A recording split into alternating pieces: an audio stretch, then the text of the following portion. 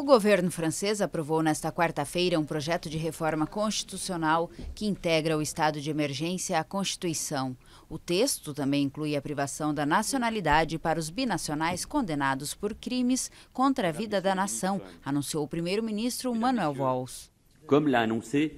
Como o presidente anunciou ao Congresso, o governo decidiu apresentar ao parlamento a proposta do direito de retirar a nacionalidade destes binacionais les binationaux.